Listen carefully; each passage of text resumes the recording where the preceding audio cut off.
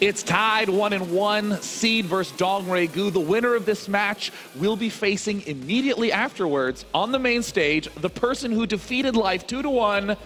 They'll be playing Scarlet. That's an awesome result. Yeah. I'm, I'm really Scarlet's really been bringing her A game the last week or so. Some fantastic Yeah. StarCraft. Yeah, I mean, the, the two Red Bull athletes have now fallen out of the tournament, Life and Bomber. Now we have uh, a merry-go-round Seed going up against Dong Gu to face Scarlet, the last remaining foreigner in this tournament, and honestly, maybe the best Zerg. Yeah, I mean, beat, beat life. I, w- I actually wouldn't argue at that point. One of the definitely one of the best Zerg players left in this bracket. So looks like our players are ready to go. We're gonna kick off this third map. We've we've seen it all. We've seen just a very very crisp macro play from DRG. We've seen the cannon insanity. A very crisp cannon rush. Is yeah, the crisp is one way to put it. But uh, how you like this third map? Merry-go-round. Do we have any Protosses in the audience? Now, in terms of a collective noise, how do the Protoss players in the building feel about merry-go-round? Okay, there you go. That's about as much as I expected. Yeah. I like that boo was the noise, not like, "Uh, it depends if you can get your third, you know. In the top right corner, he showed an exquisite cannon rush to tie the series one and one, but he's going to have to have some straight up tactics to win on this map. From Team Dignitas, it is Seed. Learn your cannon tactics from this guy. His opponent in the top left from Team MVP, it is DongRaeGu. And, you know, I, I got a comment about this on Twitter. Uh, someone thought that people were booing Seed, but in fact, it's that there are the hardcore Seed fans who yell Seed in that manly baritone. If you can give me a, a Seed a Seed yell, Seed, Seed, Seed. I love it because it, it, it sounds better like that, not Seed. You don't want to stress the E. That stresses my ears. I'll take it. There it is. Walk Well- me through what's happening, Nathanias. Okay. DongRaeGu. I wouldn't be surprised to see him go for a fast hatchery on this map. Since it's three players, you do have to scout where your opponent is. Yes. uh, Generally speaking. Um, but he's, he's been kind of comfortably doing this. And I think as long as as long as you don't, based on this map, you shouldn't have to worry about a cannon rush. So what I'm mostly interested in is where Seed takes this game because Yeah. DongRaeGu, I would not be surprised if he did the exact same thing he did in game one on this map. Yeah, I mean, uh, already we see the drone doing the patrolling, the Overlord heading out to mid. If he goes three hatch, that's very, very bold, very brave. I mean, we talked about the fact that the third is very difficult to hold. Let's take a look at Seed's third base out mid map. Just looking at it, you get it. It's huge, it's spread open. One of the attack angles is from high to low ground, so it's, it's difficult to even spot the army that's going to come hit you, let alone battle that army without a choke. So we tend to see players need big mid-game armies. Lots of gateways for Protoss, lots of Ling Roach Hydra for Zerg, because that's the only way to defend the wide open spaces. Yeah, that, that third really is just it's a it's a nightmarish position to hold for the Protoss with, as you mentioned, all the open space. And DongRaeGu has shown, uh, at least in that first game, that he's not going to make mistakes as far as the macro goes. So if Seed wants to bring aggression on this map, he's going to have a good economy to build it off of, and the Overlord will see. So he knows, okay, Nexus first into Gateway, nothing crazy here. But does does Seed? Because on some maps where it's hard to get a third base, sometimes one of the best ways to do it is take it really early. Um, As counterintuitive as it sounds, it's absolutely true. I mean, you get the economy up to be able to build the units that you need for when it's hard to take the third. The, the third, the threatening time for the third is that critical 8 to 12 minute mark. So if your expansion's done, you got your photon overcharge, you got a lot of probes, you've had time to build gateways, your warp gate's done, and you can defray a lot of Zerg aggression. I think the most important question beyond that is, so he does see this third base. If he doesn't go for his own fast third, what does he do off of two bases? What's good on this map? There's a lot of high ground areas that can be used on the bottom. I think those high ground Yeah. bases, hiding pylons there is a it's pretty common to see. And I'm interested to know if he gets aggressive, is it going to be based on the heavy gateway setup that he wanted to go for in game one, or are we going to see a little bit of different tech come out of him? Well, we see a chrono boost on Warp Gate. Warp Gate used to be the most chrono boosted thing for Protoss, and now it is often the most neglected thing. Sometimes people even intentionally delay and then don't chrono boost.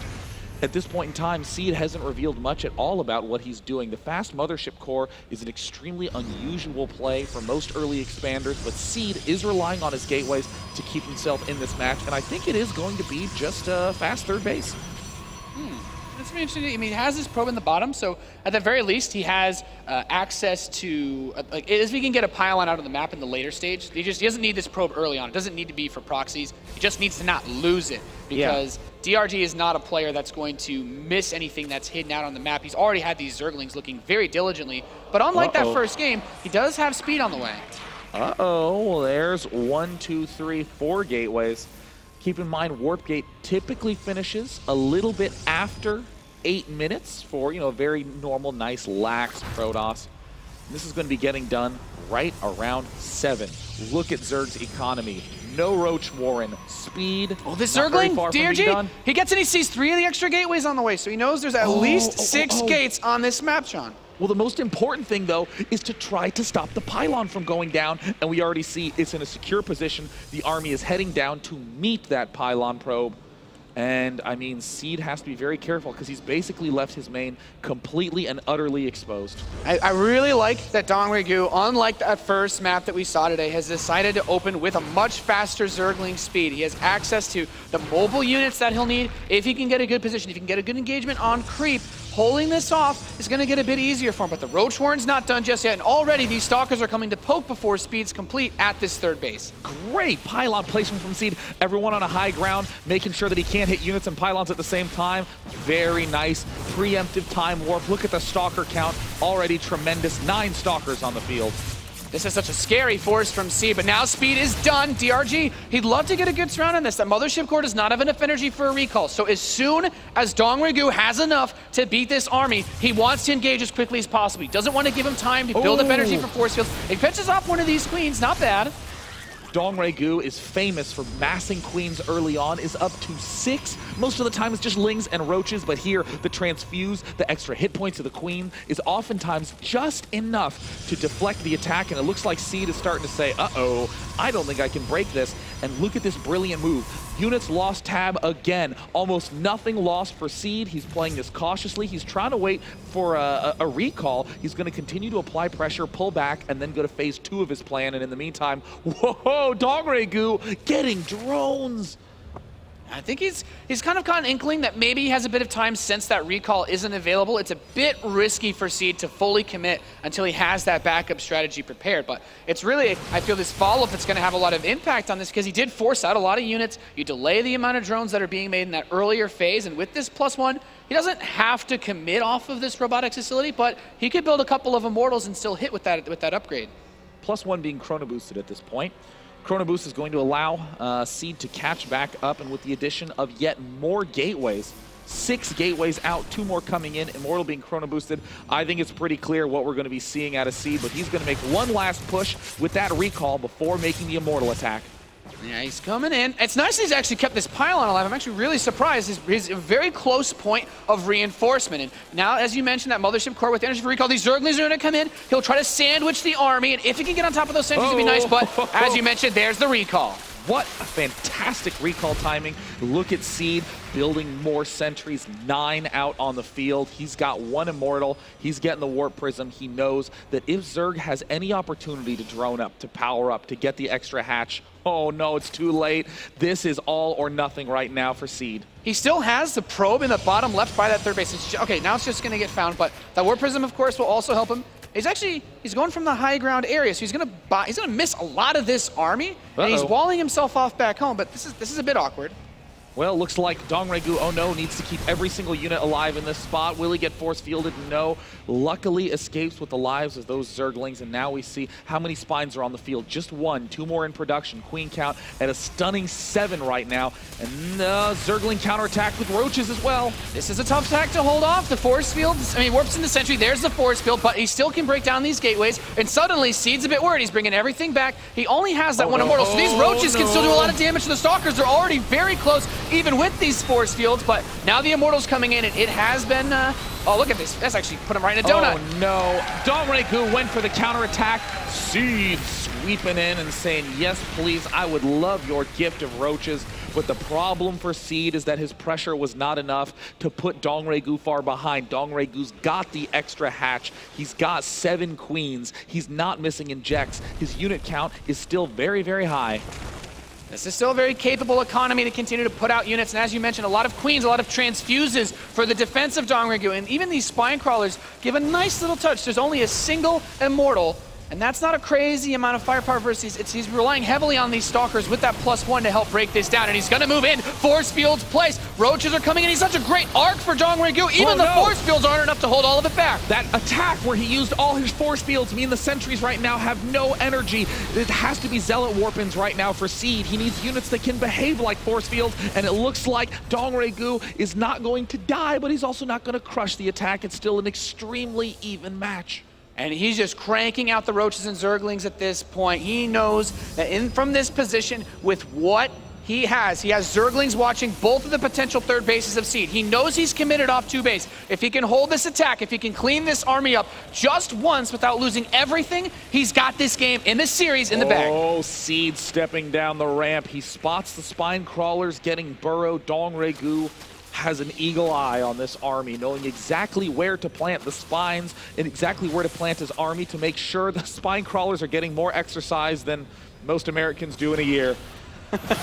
He's going to move in. There's the force fields. This is a pretty tight choke to fight in for DongRaeGu, and I think this is a lot of a lot of these roaches aren't really able to fight, but still some solid transfuses being brought forward. Wow. And I really think not having an observer, this creep has is really giving a big edge, I think, to DongRaeGu in these positional battles. DongRaeGu is extending it out more and more and more with every single battle. That means he has more time to prepare, more time to relax and wait. And I think Seed is actually starting to realize I went all in and I did some damage, but I didn't deal the, the key damage that I needed. And it looks like Seed is just now rejoining with more Immortals. Uh-oh. This second round attack is going to continue to be more threatening. That's a lot of roaches, Day9. DRG chasing. There's a good force field. He's oh, going to at least no. scare him off for now, but doesn't manage to pinch any of those roaches off. These queens are coming out too, but I don't know how far. That's a large distance to go. With the Hive en route, DongRaeGu is going to begin transitioning to Vipers, getting the key pulls on those Immortals. Those are the big damage dealers in this army, and this might look suicidal for DongRaeGu, but he has the Econ. He has everything that he needs. He has the Larva. 15 larvae eagerly awaiting. Seed has such a big army. Seed actually doing his Elfie impersonation. Every force field that DongRaeGu can, can get out of uh, Seed in this phase of the game means that when those Vipers come out, like you mentioned, when, yes. he, when he decides to just use all of this economy, all these extra hatcheries he's built to overwhelm the Protoss force, there won't be enough to parse it. And then it's moving towards the center of this field. If if map just gets more and more open, you need more and more force fields to take a decent yeah. engagement. I mean, this open map favors Roaches so much, and I love this play from Seed, trying to do what he can to do damage in the main base. The Queens arrive, don't have enough transfuse, Roach is still narrowly evading these force fields. Having a lot of queens makes defending these Warp Prism attacks a little bit easier. That main force is still stepping onto the creep in the center. Big Roach counterattack, and suddenly there's nothing here to defend against. A single photon cannon's not going to be enough. And Seed, he's just to, is he just to go for it? He's stepping onto the creep. He's moving forward. He has the Observer this time. He's starting to clean up this defensive setup. DRG wants to throw everything away. Can, can Seed afford a base trade? Where's his, he doesn't even have a mothership core. Seed has just decided it's all or nothing now. No mothership core means no recall, means main is gonna have to go. And it looks like Seed is trying to find the optimal angle to place this gigantic army. Seed, where are you going? Needs to get into that main now. Seven Spines, DongRaeGu saying, if you want a base race, all I gotta do is hold this choke at the front. Where is, is there any did a probe make it out? Warp Prism heading back home oh, to lift probes. Picks up eight probes. He still has enough resources to build a Nexus somewhere else on this map. It really comes down to how, how cost effective can they be with these units? He's managing to blow through the spines in the main base. We see him taking out the third base here. There's still a couple probes waiting in the main, but this army from Seed is still pretty capable. It's just not enough of it, I feel, to yeah. win. He can't fight this whole Roach Force head-to-head. -head. Oh. Oh, a couple holes means DongRaeGu is going to be able to get out with most of his drones. Uh-oh, uh-oh, not a lot of money for DongRaeGu. He needs to have enough to rebuild a hatch, barely has 300 now. plus two, almost done. Vipers, uh-oh.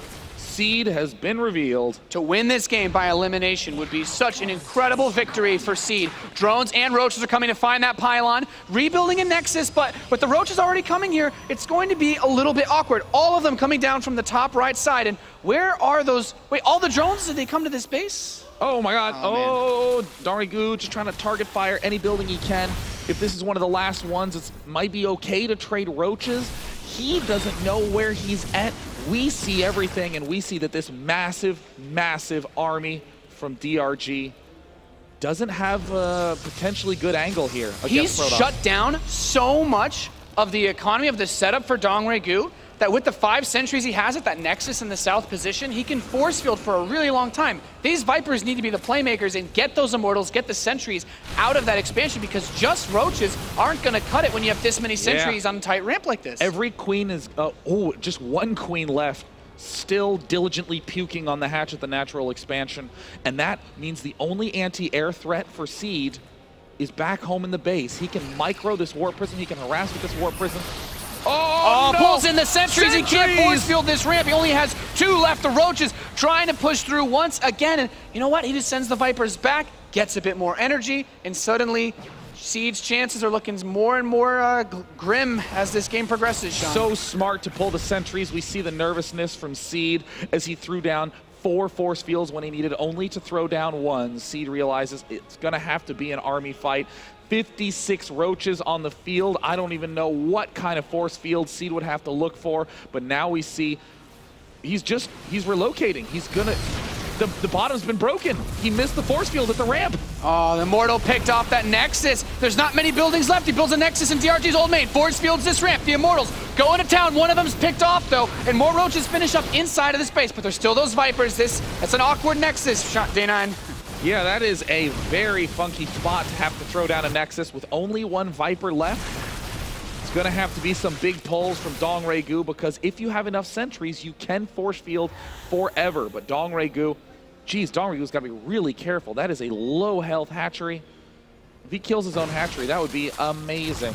But oh no, Seed is not. He doesn't have the ramp advantage. Seed. Oh, misses the force. it Blinding all. Cloud forces his army back. Dong Gu dancing roaches around these forces. He's going to gobble this Protoss army up. GG!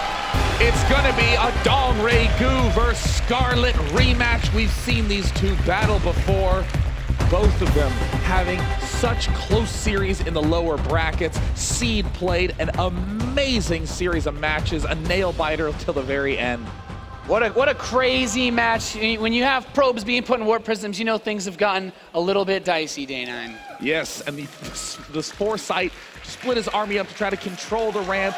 So smart, but DongRaeGu on point. There's the man walking across the front. DongRaeGu has just been impressing everyone, qualifying from the open bracket to pool play, getting third in the open bracket, not quite able to cinch that top spot. But now showing that he absolutely deserves to be here in Championship Sundays, he advances to the top 12.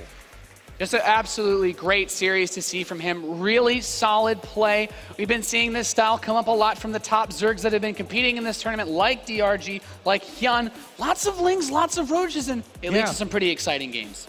I mean, that is, I, I'm still speechless at that finish. It could have gone either way, so close to the end. When I saw the Vipers advancing to that ramp, I could not believe how clever a play that is to pull the sentries. It's so easy to want to go for the high value targets. You abduct the immortals. No, you get to abduct whatever you want. Sentries, the absolutely correct choice, the high energy sentries at that. And you saw how shaken Seed was trying to force field desperately and missing so many key force fields in the last few fights. Yeah, I have to say, like that game becomes so different if you don't have those Vipers on the field Oh, for yeah. Dong Gu. And as, cra- as crazy as it was, he still handled himself very well. Just imagine if those force fields, if those few drones don't slip out to the right side, if he picks off that base that builds in the bottom Right. center, Oh. there's so many different like ways this could have played out just from the tiniest little things.